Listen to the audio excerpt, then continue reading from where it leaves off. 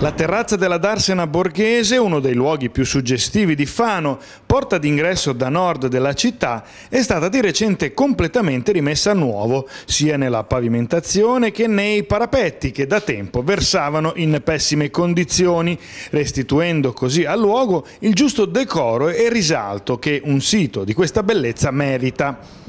A questo ci ha pensato l'amministrazione comunale con fondi propri, ma la sottostante facciata dello stabile, che guarda a quello che un tempo era il porto commerciale della città, edificato nel 1600 di forma ovale, che arrivava fin sotto l'attuale albergo Augustus, continuava a versare in brutte condizioni.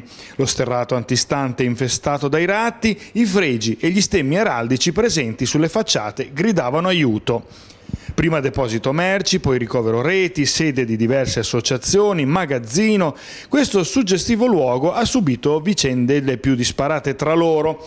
Inizialmente era un loggiato col piano calpestabile ben più basso dell'attuale, ma da qualche anno è la sede naturale, viene da dire, dell'Associazione Nazionale Marinai d'Italia ed è proprio l'associazione con i propri fondi ed il contributo di privati e piccole imprese e la manovolanza dei suoi soci che in due mesi e mezzo ha riportato al suo splendore questa parte dell'edificio e ricondizionato sotto l'occhio vigile della sovrintendenza anche i suoi spazi interni. Il sogno nostro è quello di riaprire questo monumento ai fanesi, a tutti i cittadini fanesi, eh, che possano eh, fare delle mostre, presentare dei libri, conferenze, e quindi dare una eh, vivibilità mh, diciamo, eh, importante a, questa, a questo, questo, monumento.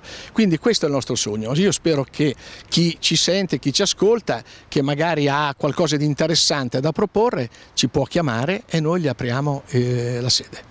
Domenica 10 agosto alle ore 18 alla presenza delle autorità civili e militari della città l'associazione presenterà alla cittadinanza l'opera portata a compimento con orgoglio e fierezza come nello stile dei marinai.